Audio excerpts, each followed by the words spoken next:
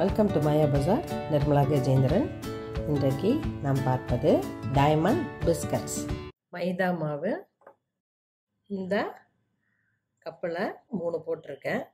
அதே கப்பில் சர்க்கரை ஒன்றரை எடுத்திருக்கேன். அதை மிக்சியில் போட்டு பவுட்ரு பண்ணிட்டு வருவோம்.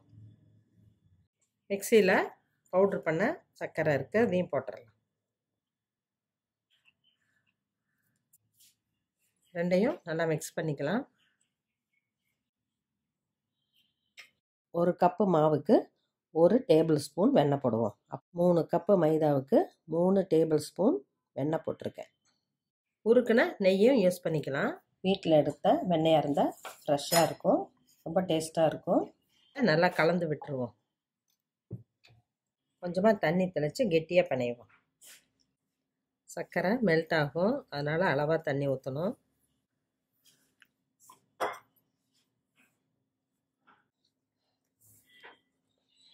இப்போ எல்லாமே ஒன்று சேர்ந்து வந்துருச்சு. இப்போ தேய்க்கிற பதத்துக்கு வந்துருச்சு. இப்போ நம்ம சப்பாத்தி கல்லில் கொஞ்சம் மொத்தமாக தேய்ப்போம். கொஞ்சம் பெரிய உருண்டையாக போட்டிருக்கேன். இதை நல்லா தேய்ச்சிடலாம். வெண்ணெய் இருக்கிறதுனால ஒட்டாமல் வரும். ரொம்ப தின்னாக போடக்கூடாது. இந்த திக்னஸுக்கு போட்டிருக்கேன்.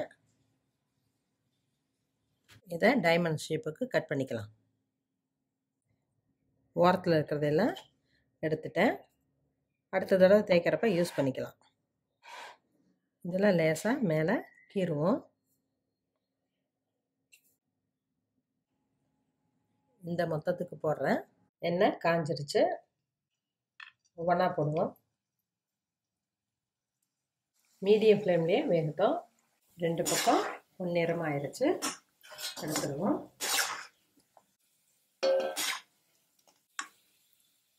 இந்த அளவுக்கு மொத்தமாக போட்டால் நல்லாயிருக்கும் மென்று சாப்பிட்றதுக்கு. ரொம்ப தின்னாக போடக்கூடாது. ரெண்டு பக்கம் இது மாதிரி கோல்டன் கலர்லேயே ஆகணும். இல்லாட்டி உள்ளே வேகாது. இந்த மாதிரி ஸ்வீட் ஐட்டம் எல்லாம் பண்ணுறப்ப கொஞ்சம் பொறுமையாக தான் செய்யணும். மீதியும் எண்ணெயில் போட்டு எடுக்கலாம். டைமண்ட் பிஸ்கட்ஸ் ரெடி ஆயிடுச்சு இது ஈவினிங் ஸ்நாக்குக்கு குழந்தைகளுக்கு ஸ்கூலுக்கு எல்லாம் கொடுத்து விடலாம். குழந்தைகளுக்கும் பிடிக்கும். பெரியவங்களும் விரும்பி சாப்பிடுவாங்க.